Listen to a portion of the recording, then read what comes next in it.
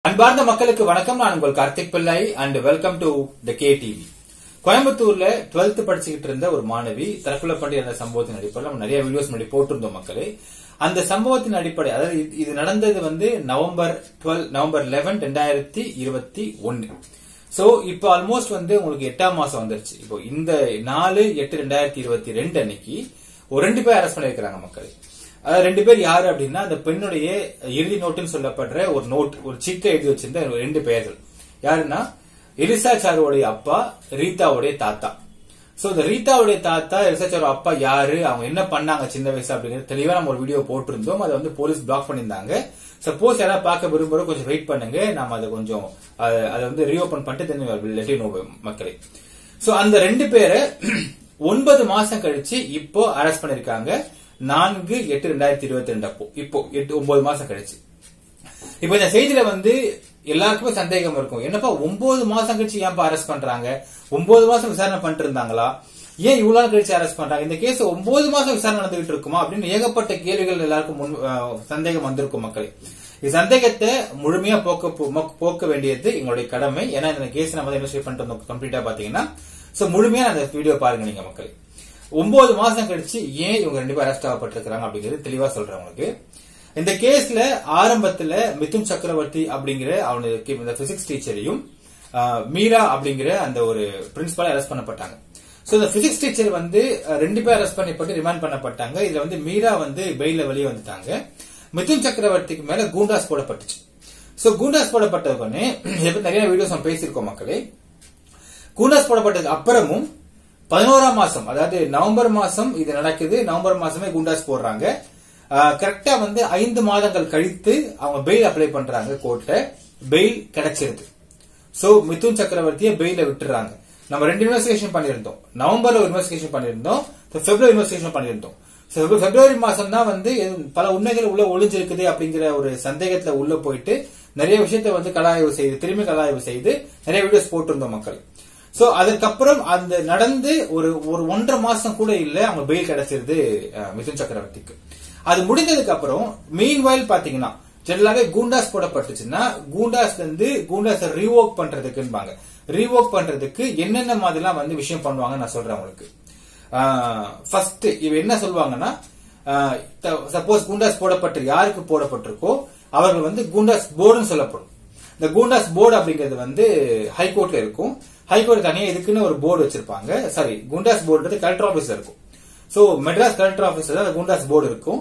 அந்த குண்டாஸ் போர்டுல வந்து ஒரு மூன்று பேர் ஒரு ரிட்டையர்ட் ஜட்ஜஸ் மூணு பேர் இருப்பாங்க. அவங்களுக்கு முன்னாடி என் பேர்ல என் மேல போட்ட குண்டாஸ் தவறு அப்படின்னு சொல்லிட்டு அந்த போடப்பட்ட நபர் வாதாடலாம். அப்படி இல்லைன்னா அந்த நபருக்காக அவங்க ரத்த சம்பந்தம் அவங்களுடைய அக்காவோ அண்ணனோ அப்பாவோ அம்மாவோ ஒய்ஃபோ பிள்ளைங்களோ யாராவது வாதாடலாம். சோ இப்படி அவங்க வந்து வாதாட டைம் கொடுப்பாங்க. குண்டாஸ் போர்டு வந்து வந்து நம்பர்ஸ் வரும். ஒரு நாளைக்கு பத்து பேர் ஒரு நாளைக்கு இருபது பேர் தான் விசாரிப்பாங்க. சோ குண்டாஸ் போர்டுல வந்து வக்கீல் அப்ளை பண்ண உடனே அவர் குண்டாஸ் போர்டுல இருந்து நம்பர் கொடுக்கப்படும். நம்பர் ஓடும். ஒவ்வொரு நாள் நம்பர் ஓட ஆரம்பிக்கும். நம்பர் ஓடினதுக்கு அப்புறம் இவங்க நம்பர் எப்ப வருதுன்ற பார்த்துட்டே இருப்பாங்க. பார்த்துட்டு அந்த சமயத்துல போயிட்டு இந்த சம- இந்த இந்த நபர் சார்ந்து யாராவது ஒருத்தவங்க போய் அவங்க வாதாடலாம். வக்கீல் வாதாடக்கூடாது. இதை முக்கியமா பார்க்க வேண்டிய விஷயம் இந்த இடத்துல. சோ அந்த மாதிரி மிதுன் சக்கரவர்த்தி தரப்புல இருந்து ஒருத்தவங்க போய் வாதாடுறாங்க. அவங்க அவங்க- அவங்களுடைய கணவருக்காக. அவங்க மனைவி போய் வாதாடுறாங்க. வாதாடி முடிக்கிறாங்க. முடிச்சதுக்கு அப்புறமும் குண்டாஸ் போர்டுல இருந்து ரிசல்ட் வரவே இல்லை. சோ நம்ம விசாரிக்கிறோம் ஏன் குண்டாஸ் போர்டு ரிசல்ட் வரவே இல்லைன்னு சொல்லிட்டு பாக்குறப்போ குண்டாஸ் போர்டுல இருந்து மேக்ஸிமம் வந்து குண்டாஸ் போர்டு வந்து போய் பாக்குறாங்க வாதாடுறாங்க. அது ரிசல்ட்ன்றது வர மாட்டேங்குது மேக்ஸிமம் சொல்ல மாட்டேங்கிறாங்க அப்படிங்கிற மாதிரி ஒரு தகவல் நான் சொல்றாங்க தெரிஞ்ச source not only for this case but for other case also மக்களே.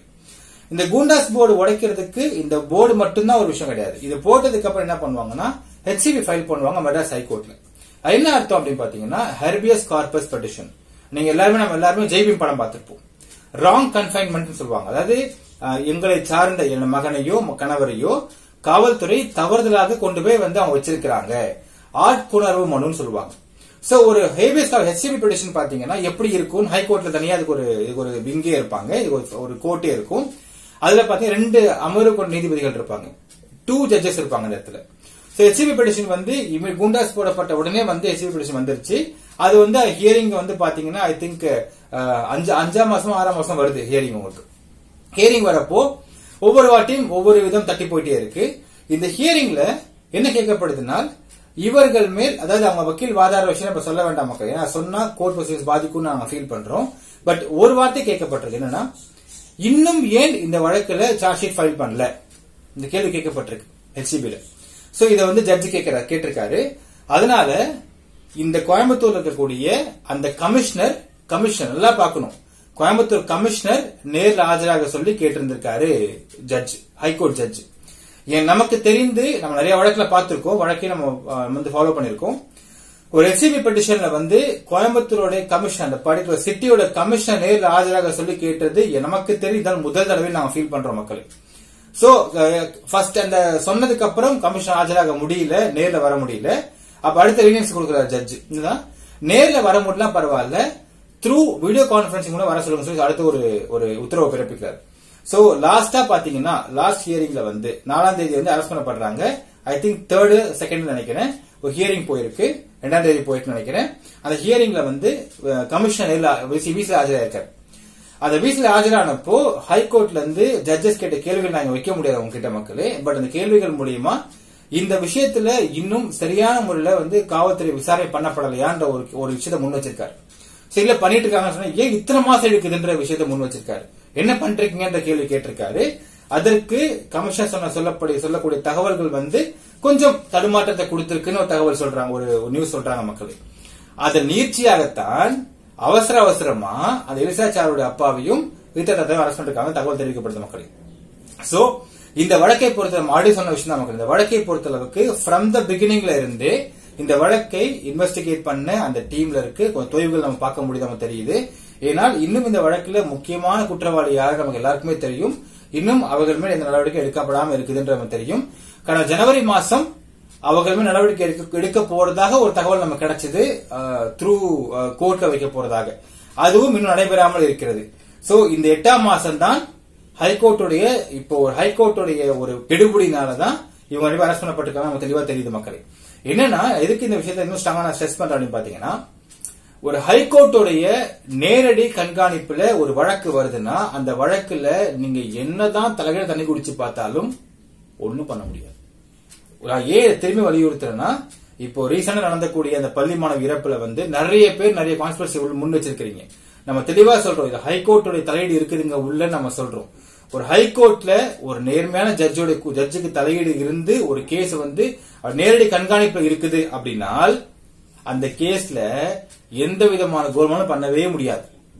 அந்த கேஸ் நேர்மையாக நடக்கும். சோ இன்னும் நிறைய விஷயம் இந்த இந்த கள்ளக்குறிச்சி மேட்டரை பத்தி நம்ம சொல்லணும்னா இப்ப சொல்லக்கூடிய நிலைமை நம்ம கிடையாது.